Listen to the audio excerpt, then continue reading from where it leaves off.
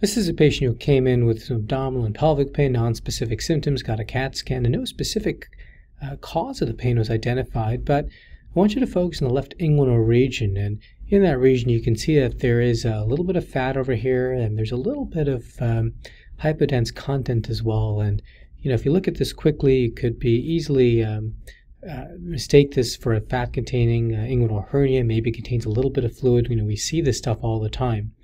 If you fast forward a couple of years, patient comes back with some pelvic pain, and you can see that that uh, low density component has enlarged. It goes from that to that, it's quite a bit bigger.